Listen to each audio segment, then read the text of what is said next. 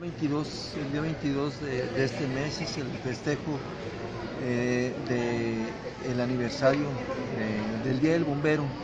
En ese, en ese festejo se va, eh, empieza temprano ese día con una ceremonia religiosa y después bueno se va a llevar a cabo este, la entrega de la remodelación del- de, de la- de las tres subestaciones o de las tres estaciones de, de protección civil que existen en la ciudad, en donde se mejora ah, el equipamiento, se da mejor equipamiento, las condiciones, la infraestructura de, de- las mismas centrales, este, se les va a otorgar nuevos colchones, o sea, prácticamente el bombero vive este, por su trabajo vive ahí en, este, durante determinados días a la semana viven en, en esos edificios y por lo tanto se les va a proveer de, mejores condiciones para que su trabajo puedan realizarlo de la mejor manera.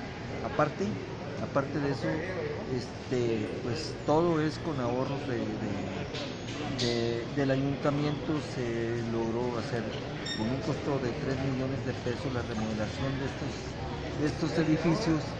Aparte se va a entregar una ambulancia, una camioneta eh, en la ceremonia que se va a llevar a cabo después y como, como una este, propuesta ciudadana pues se va a entregar reconocimientos a los a los integrantes del cuerpo de bomberos con mayor antigüedad, etcétera, etcétera. ¿sí? ¿Cuándo va a ser? ¿Eh? ¿Cuándo va a ser este Ese va a ser ese mismo día, después de la ceremonia. qué fecha es? 22 de agosto. Sí, por la mañana te digo que empieza muy temprano y ya después de la ceremonia religiosa, pues ya se, se pasa a hacer la ceremonia donde se va a entregar eso. Aparte, se van a entregar este, uniformes para el personal y equipo de trabajo.